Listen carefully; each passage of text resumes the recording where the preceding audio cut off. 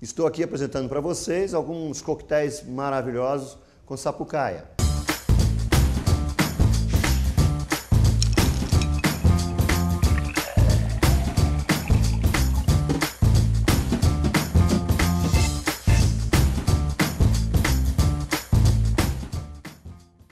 Sapucaia Power, nós vamos fazer uma jarra.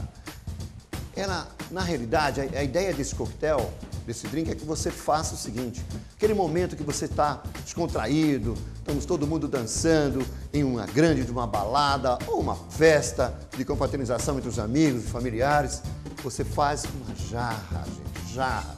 Para isso, nós vamos usar a nossa sapucaia velha tradicional, cinco anos de barril de carvalho, torna uma cachaça nobre, fantástica. Vamos lá, primeiro pegamos a nossa jarra, vocês utilizem uma jarra de 2 litros, um litro e meio, e vamos colocando bastante gelo nela.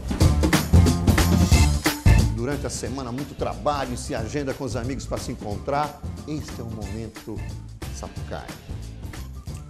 Vamos agora utilizar a nossa sapucaia velha, tradicional, cinco anos em barris de carvalho. Olha a cor, fantástica.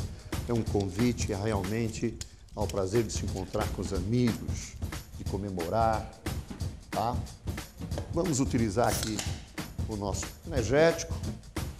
Você use aquele energético que você gosta. Depois, nós vamos colocar as nossas fatias de limão. Agora nós vamos dar um toque de sabor também através da nossa lima da Pérsia.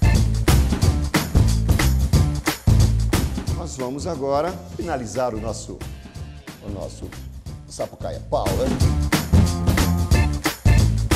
Use para fazer esse drink a nossa Sapucaia tradicional velha, que ela tem 5 anos de envelhecimento no barril de carvalho. Esta e outras receitas você encontra no cheftv.com.br.